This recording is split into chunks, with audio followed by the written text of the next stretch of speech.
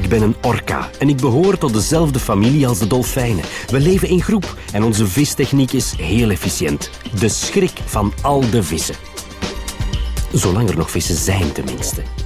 Er zijn veel oorzaken waarom er steeds minder vis is, maar de klimaatverandering doet zeker geen goed. De voedselpiramide wankelt. Het plankton, dat de opwarming van het water slecht verdraagt, wordt schaarser of verplaatst zich meer naar noordelijke gebieden. De haring, die zich met het plankton voedt, moet dus hetzelfde doen en past zijn trekroutes aan. En wij, de orka's, gaan hen ook moeten volgen als we willen overleven. Voor ons is het de hoogste tijd.